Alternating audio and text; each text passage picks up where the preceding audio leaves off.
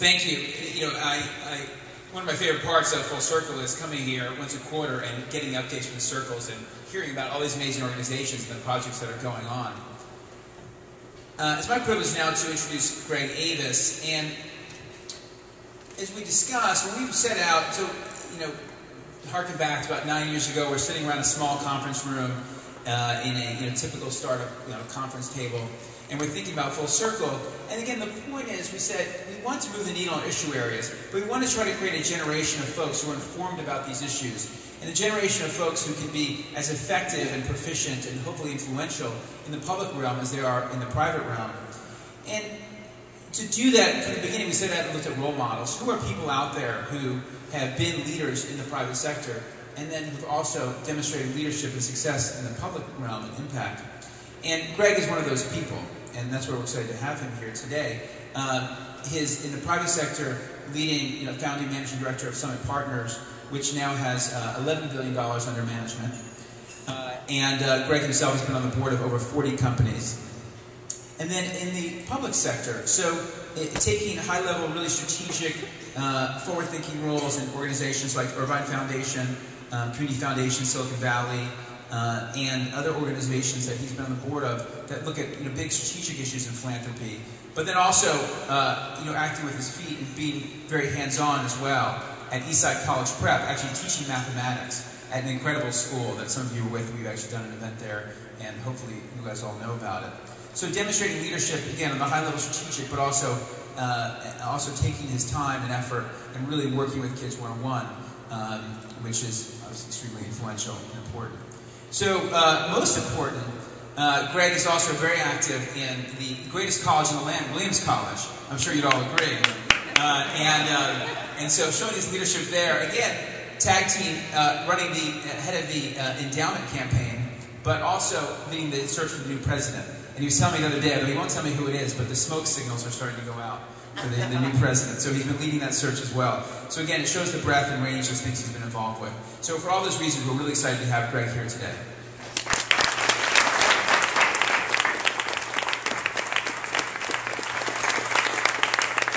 Thanks, thanks Josh, and thanks Amy for inviting me here. And it's great to see so many familiar faces and, and to have met some new friends uh, here tonight uh, already. I know we're running over time, so I'll try to be brief.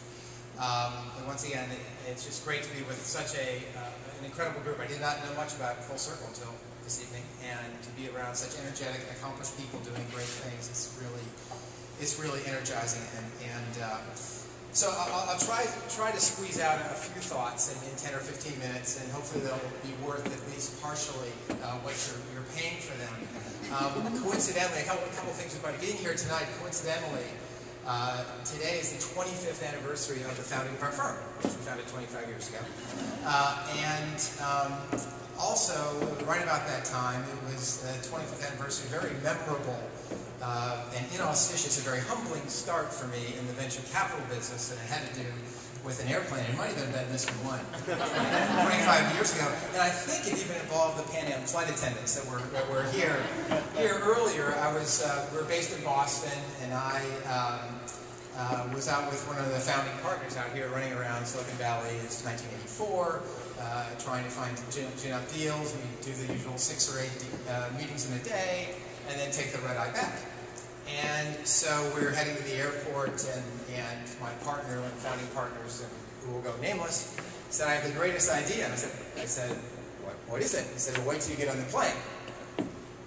Okay, so um, we got on the plane, and he informed me that we're, we're flying first class, which is, at the time, was the first time I'd ever flown first class, and I I heard about these venture capitalists the, the high life, and it was just my second or third week on the job, flying first class. That's, that'd be great. And so we get on the plane, and we're up front, and there's I can see our, our seats right next to each other in the, uh, in the bulkhead. And I disappeared to the uh, uh, to the facility and came back, and there was my partner um, who had removed the uh, armrest between the two seats. And he placed it on the ground, and he was already positioned himself himself horizontally on the two seats uh, with a blanket on, with with the eye the eye uh, things on. And I, wa I walked up and said, hey, hey, what about me? And he just pointed down at the ground. And he had, behaved nicely, he put a put a blanket and a, a pillow down there for me, which is very, very, very conscientious of him. Uh, and that was the beginning of, of my career in, in venture capital. Luckily, luckily it's been it was it was uh, uphill uh, from from there. Um, let's just fast forward. Well, well, first of all, this is the same partner, and the relevance here tonight. This is the same partner that literally told me in that first week, said, you know, you should not get involved in any pursuits outside of work. You know, it's, it's distracting, you'll do a job, just don't do it. And if you do, it could be career limited. Okay, and that, that came to me as quite a, quite a shock.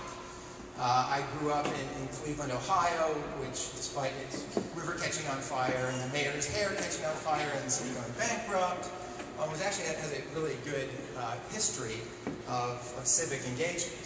Um, the Community Foundation there was the first community foundation ever formed. Wonderful orchestra, wonderful art scene.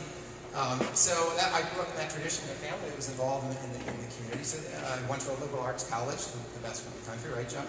Josh, that, that that really imbued in us the, the, um, the sense that it was, it was, not just good enough to be an employee, you had to be a, a citizen as well. So this came as, as, a, as a shock to me. So, so fast forward 15 years um, from then.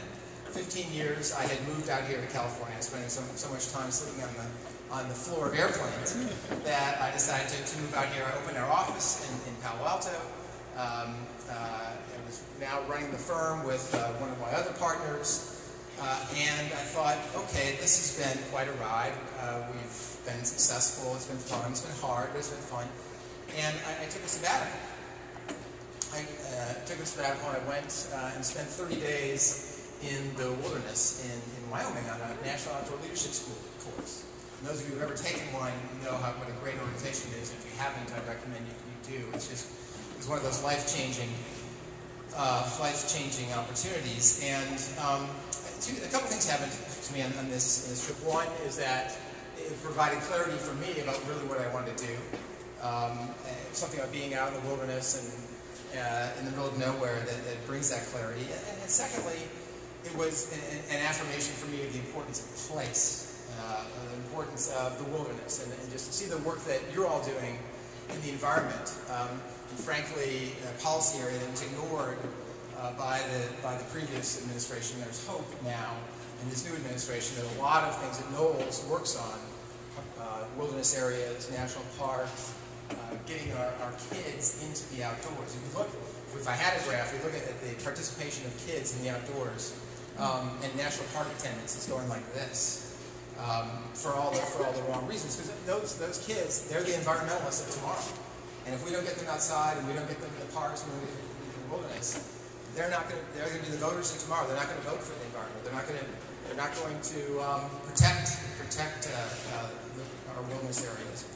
Um, and, and NOLS have been very active, obviously, in, uh, uh, in, um, in advocating for public, for public policy. And I, I then joined the NOLS board. I'm kind of like, those who are old enough to remember the, the old Victor Kiam commercial around around uh, uh, around Christmas time when you come out and say, well, this razor, I think it's Norelco, Norelco I think. Yeah, Remington. Yeah. It was Remington. It's Remington, this razor. Said, I like this razor so much that I, I bought the company. Well, I like NOLS so much that I, I joined the board, got involved, um, and uh, it's just an amazing organization. It's one of the best mission-driven organizations. Those of you who run organizations or on boards of organizations, um, we're going to be doing a case study of, of NOLS it is, it is just so well run, and it's be a, a, a, real study for us all to, um, to look at and learn from it. Um, so, what, what happened after the sabbatical? I, I, decided, along with a couple of my other partners, to slowly uh, extract ourselves from Summit and turn over the business to the next generation of leaders. I think a lot of people in our business, frankly, um, tend to hang on too long. Uh, and you have young leaders coming up and want to continue to inject fresh energy and we decided, okay, it was time to do that. So over the last five or six years, I've been slowly uh, extracting myself uh, from Summit, but still involved in investing and doing new deals and that, and that sort of thing uh, on, on the side. Um, but I've also had time for other for other activities. And I was asked, are there any any lessons learned from both my involvement at Summit and in, uh, in the nonprofit sector, in the, in the philanthropic sector, And I had five, uh, five things, five lessons learned, but given the time, I'm going to only talk about, uh, about four. Um, and unless it's shortened to three if I get the, the hook sign, the hook sign coming up. Okay. Um, We've been fifth on your blog. yeah, Twitter. Yeah, I check on the twi- Twitter later tonight. Um, the, the first one, the first one we've, we've already we've always heard about learning from your mistakes. When we start hearing that, that our you know, commencement speeches in high school, you learn from your mistakes. But there's there's one there's a more nuanced version of that is admit mistakes. Admit mistakes. I look in our business. Our business is so biased. that All, all the incentives are against admitting mistakes. You don't want your LPs to know that your companies aren't doing that great. You want your partners to know that your company just missed payroll. Um, you, you know, you just it, it, it's just a bias against admitting mis- mistakes, and it could be again a career limiting move, uh, um, move if you if you do admit mistakes. Also, in the nonprofit world, those of you who run organizations know you want to look good for your investors, for your funders. Um, you want to look good for your employees, uh, and and it, it's just very very tempting to not to not admit mistakes. But what happens when you don't admit mistakes is you just freeze the organization, and you don't learn. And I've learned that the real hard way in deals that have lost lots of money for for my partners and, and our limiteds in, in the firm. I've, learned it in, in the uh, both as a uh, as a funder uh, as well as um, a board member of a, of a nonprofit. One arts organization I was, I was involved with on the board made a, a substantial contribution uh, to the to the arts organization in addition to help to help it survive. And um, it was back about six or seven years ago, and and I thought that this this investment had saved the organization. All the reports looked like things were going great attendance was fine, donations were fine, etc. And I thought that I had made um, made an impact and kept the, the, the, the business the organization afloat. And it turned out it was it was not only it was not true, but I had enabled the failure. I had enabled the failure by not asking the right questions, by not insisting on changes before I made the donation, um, and by frankly not paying attention, and then not admitting to myself that I made a mistake. I couldn't admit it. I said, oh, geez. And, and we all like to think, boy, we make an investment in, in, in both companies and in, and in nonprofits, and those, those dollars always go to good cause, but they don't. They don't always. And in that case, I made a mistake. So admit, admit, admit mistakes. Um, second, secondly, this one sounds a little harsh, but, but let me explain it. It's, it's don't suffer fools gladly. Don't suffer fools gladly. Challenge yourself and, and challenge others. And you know, I, I've learned, Josh mentioned that um, we're doing the search for, for Williams right now, and I've, I've interviewed 50 people all over the country. Um, we've surveyed like three or 400 people, and we're down to our finalists now. And we have these debates, we just have these debates about, in our committee, about, okay, you know, can this individual grow into this particular, he's not, not a very good fundraiser, but he can learn. Um, or she's, you know, she's really good with students, but terrible with alumni, uh, but um, you're pretty good with faculty. And you look, you go at, the, at their track records, and they have no evidence. And so there's always the, the optimist in us always say, well, they can learn that, and, and we can teach them, and they'll get better. And, and at certain points, we all know, we all know there's only there's a limit to that, right? There's a limit to, to how much that you can influence people. And um, I learned that the hard way with entrepreneurs that I've backed. And I, I said, oh, I'll overlook his flaws. You know, he can't read a balance sheet or income statement. That's okay. You know, or you know, he doesn't understand the technology, but he has people around him that do that. That's that's okay. And and always, you know, always it's a failure.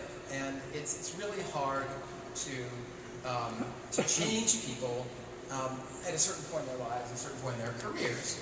Now, you know, now that so so so that that's another lesson learned. But, uh, but I don't want to sound too harsh because people do grow and people do learn. I look at, at some of the people that were just shown in the video. I look at my students. The students that, that I that I teach are coming from really really tough environments, um, re, uh, really really um, difficult a difficult place where they've been they've had horrible elementary school and sometimes middle school education, and now are expected to perform at a level that gets them into college. Not only gets them into college, but then they, they do well in college.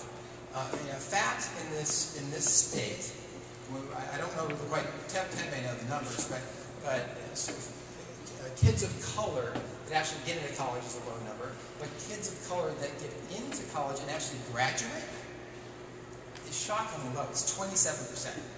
So just getting kids into college, which we do, 100% of our kids at Eastside who um, who graduate go to a four-year college.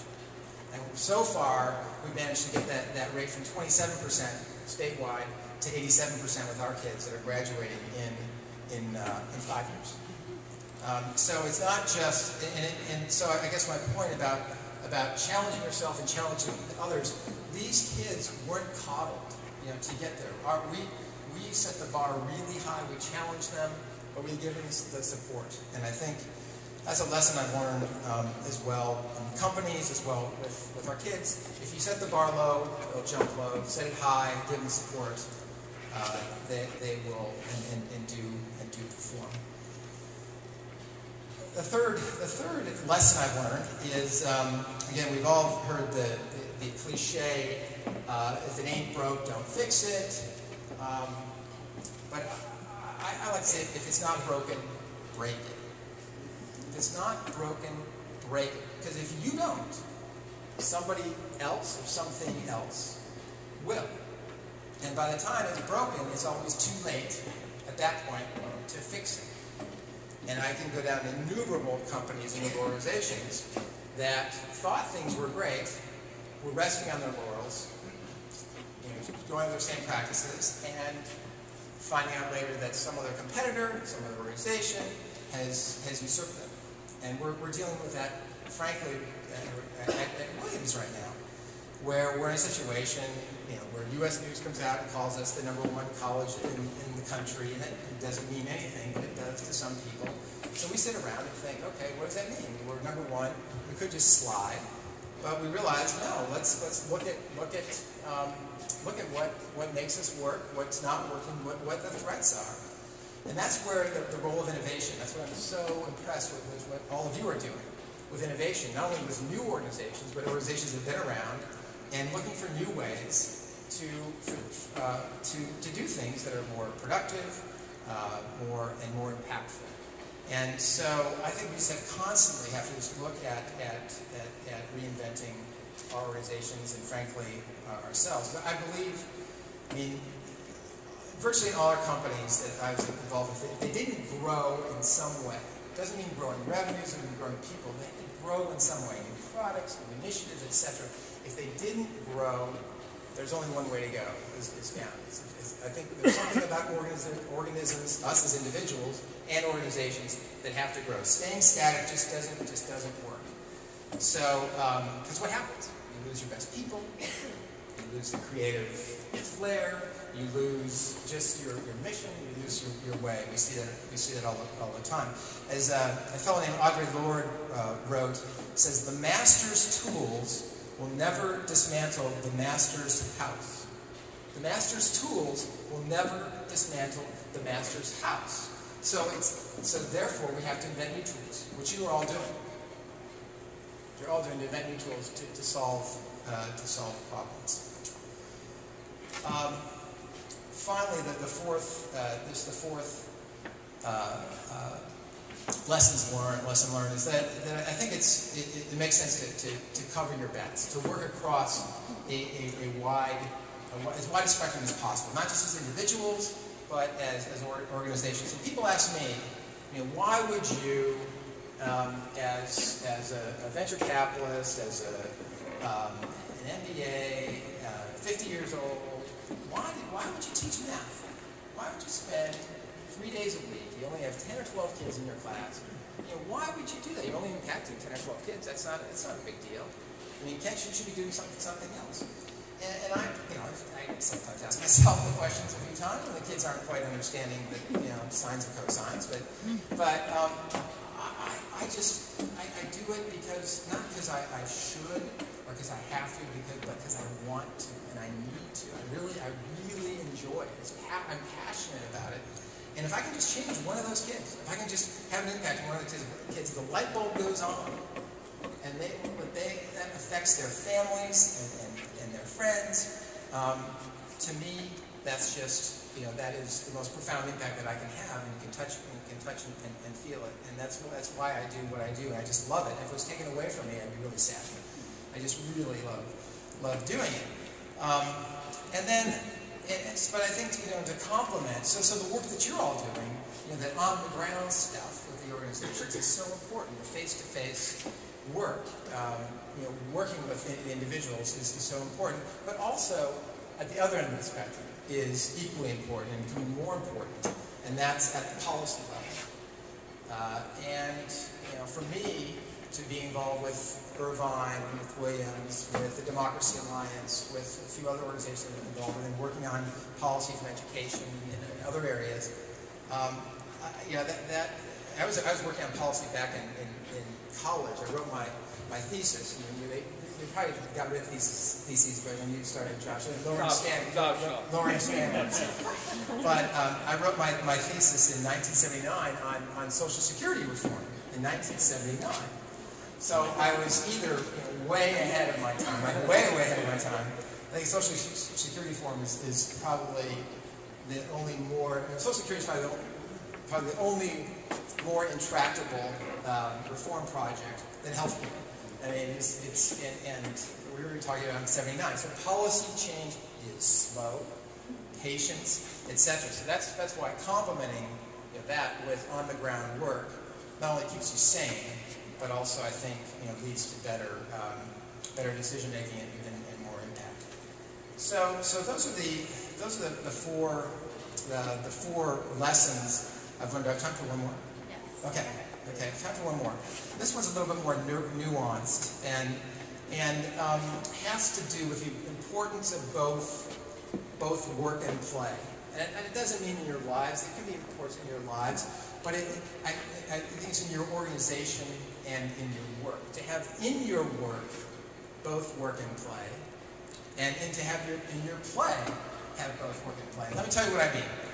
I mean, I, I think about work as, as obsession and repetition and passion. And so, you know, the more we repeat something, the better we are at it.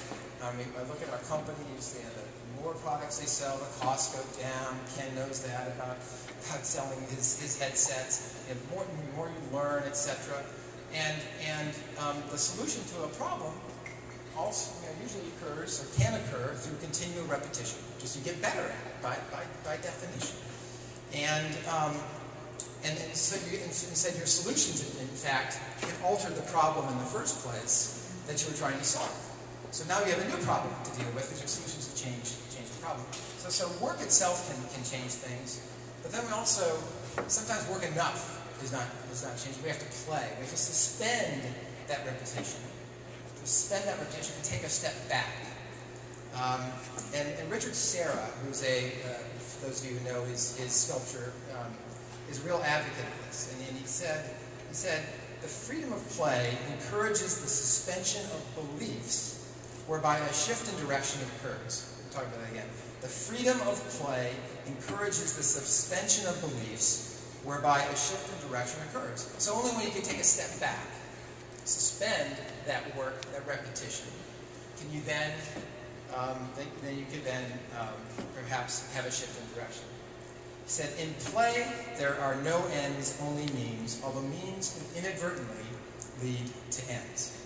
So I guess that's something I've, I've learned well, as well in our companies and the organizations is we can work really, really hard, repeating, getting better, lowering costs, um, lowering turnover, all those things, but sometimes we have to take a step back, suspend our beliefs, and, and, and learn from them. Sometimes hard to do, when, especially when you've been, you've been successful. So um, it just makes me so happy to see all these uh, ventures that you're all working on, uh, getting off the ground, getting funded, uh, with innovation, all working so hard. Uh, it's just, it's just a, uh, it, it's, it's, great to see. I hope that, that I can become involved somehow um, uh, in them and get more people, frankly, from our business involved. He's the type of people that should be involved uh, in, in this, uh, in this um, uh, organization. So I'll stop right there. I haven't gotten the hook yet, but I'll stop there and, and take any questions that you, that you might have.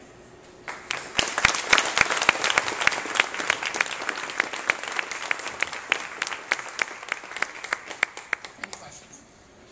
If not, the wine and beer are waiting, I think, uh, for the, the person. Yeah.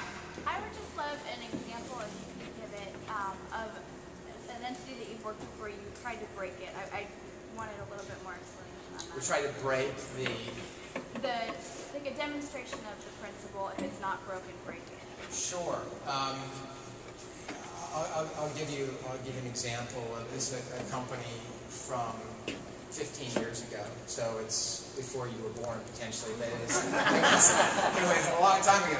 But this is a company that, this is a company that was a leader in its market, absolutely, you know, owned its, its market, and um, had an 80% share, and everybody else had uh, two other players, and they had, they had 20% between them.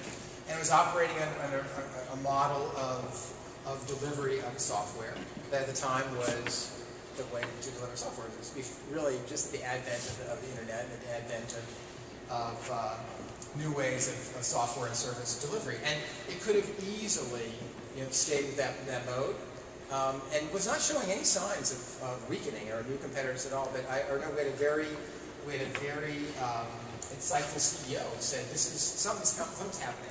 We need, to, we need to break down our model.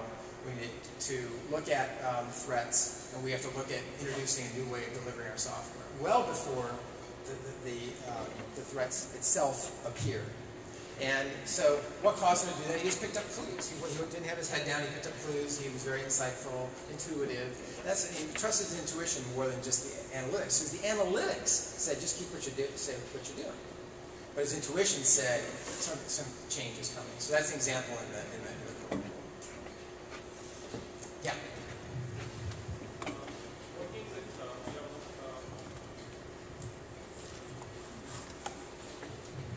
Uh, working with uh, young students, um, have you found any particular approaches that work well in terms of increasing their self-confidence? Um, just to kind of explain what I mean by self-confidence is, uh, although they may be doing well, but because of peer pressure, I'm not doing so much, and all the other data points that come in, they get incredibly frustrated. Um, in fact, I think during the video also we saw an example of the lady who kind of learned the technique and became more self-confident in racing some areas.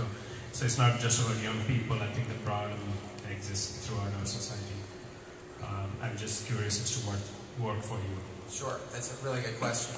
Uh, a couple specific examples of, of that. I mentioned I mentioned NOLS. Uh, I, I, I send the school sends two to three of our students every year to the National Outdoor Leadership School. These kids have never been in the outdoors and in a park. They- A lot of them haven't been out of East Palo Alto, um, know, frankly. And, and so, that, so they, they're jetted to Wyoming, to Lander, Wyoming. They get off the plane. They're scared to death. Know, they're, they're scared to death as you and I would be in East Palo Alto at 2 o'clock in the morning. And just role reversals. They're scared to death. So it puts them in an uncomfortable place where 30 days later they have emerged as confident masters of their environment. Um, so there's one example of, and we, we do, there's one example of, of, a, of a, uh, an organization that's geared toward that. So it's putting kids in a place. Give, you just don't, don't put them out there and say, fend for yourself. You have to give them the support, give them the tools, and they come back literally as changed human beings. In the classroom, um, in the classroom, I've, I've, I've learned. Um, I, I don't see how. I mean, I, I just admire teachers so much. I mean, teachers they have the hardest job on the planet. And, we don't pay them anything. And we don't get the best teachers all the time. Sometimes we get fantastic teachers. They have the hardest job the planet. But it's taken, it's taken me nine years to learn that um, you know, each student's different. But I learned more than anything else is that if you if you make somehow what we're doing seem relevant in some way, okay, relevant to them in their lives. Like I teach math. I, I don't start math out. I I don't start math the first. We just had our first day last week. I don't start out talking about, um, uh, you know, immediately about sines, cosines, and and, and, and trigonometry. I start talking about what about math is relevant in their lives. It's in nature. It's in music. It's in art. It's in it's in balancing their checkbook. It's in going shopping. And their eyes just kind of start popping out. And it, it's, it's a language. So, so I really found that, that they can, so then translating it from, translating math from something that's abstract. And to them it's been abstract and equations and rote learning and that sort of thing. Translating something that they see that matters to them, that, that builds that confidence. Is that it? Is that it? Okay, great.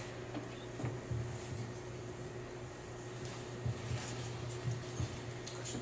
Yeah, I have a question. I looked at the background, and you are Here's, here's a, uh, Uh, I looked at your background and you are 40 boards of the different companies. used to be, yeah, yeah. Yeah, okay. I was just very curious. Uh, how does a, uh, somebody manage 40 boards and really do an effective job of that? Well, that, that was over the course course of a 25-year career.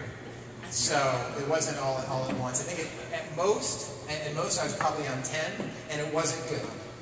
It was, it really wasn't good. It couldn't give the companies uh, my time and energy. We were, we're a later stage investor, so didn't need quite as much hand-holding and time as an early stage investor.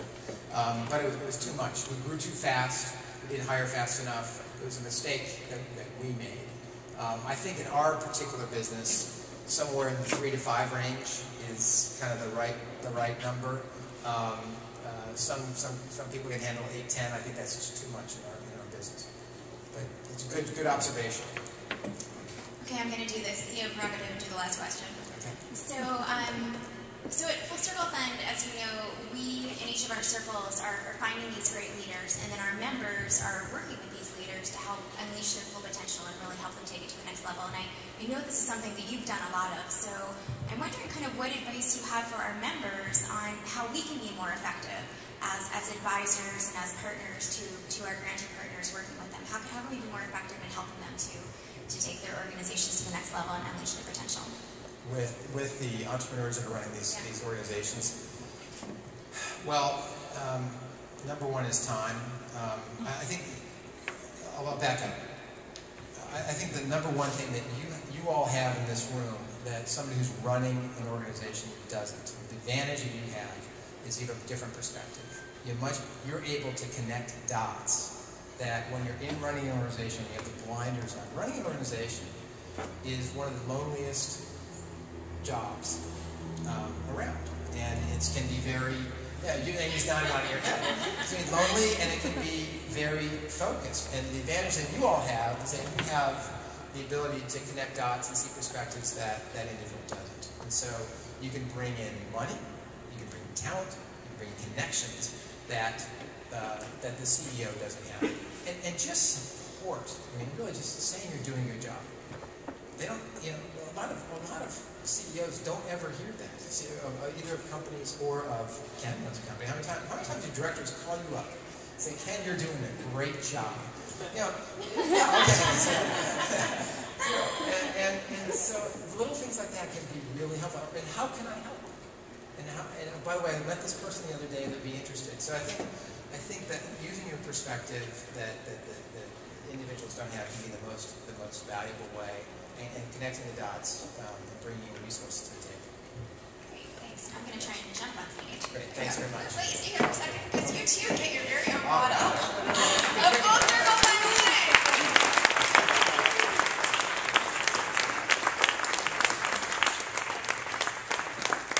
So, uh, thank you, Greg. That was that was really wonderful, and I'm glad we, we squeezed in time for fifth Otherwise, we'd all be that would have been the first question I would have asked. So, uh, so we're, we're definitely in the final stretch here. Um, all we have left is a couple thank yous and announcements, and then we're going to go to uh, to the breakouts. So so just bear with me. Um, events like this would not be possible if it weren't for our amazing amazing partners and sponsors. So I'm I'm going to quickly read them, but please please join me in thanking them. So we have Chef Michael Woodward um, for generously donating the catering, Nora Tong of Nora's Pastoria for the yummy desserts. Um, Michael,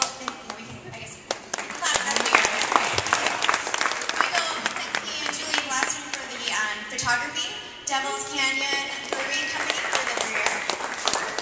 Allie Ice Designs for the florals. Um, member Gary Bauer of Bauer's Intelligent Transportation for our OSA Green Shuttle from the city. Bob Myers and Blue Angel Vodka for the Martini Bar.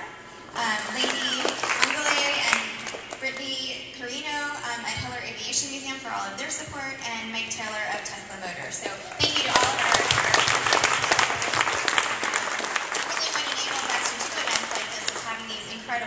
sponsors. Um, so if you're planning any events of your own, please um, please think to kind of use our sponsors, and they're all listed on the back of the program. Um, and uh, we we hope that uh, you'll you'll consider using their incredible services. So we'd, we'd also like to um, thank our incredible event volunteers who made tonight possible. So please join me.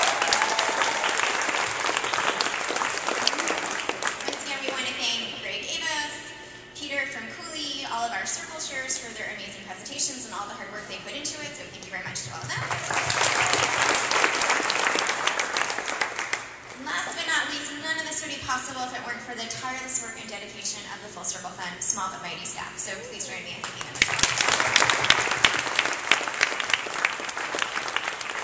Great. Okay, so now on to announcements. That was quick. Um, all right, so let's see. A couple extra bonuses for Full Circle Fund members, um, and actually for you since you're here tonight and hearing us. Um, so one is as a strategic partner of SOCAP, um, we're offering a 30% discount um, to the big conference that's next week, um, the big SOCAP conference. And if you haven't signed up yet, Katie, raise your hand, Katie, Katie over there, her table is by the beer over in the back. And uh, you can sign up to get the discount code to, uh, to go to the SOCAP conference next week. And plus, the first 20 that sign up are going to get free tickets to Embrace Disruption, which is another conference that's going on at the same time. And Full Circle Fund's also going to be um, featured as a founding member of the Hub.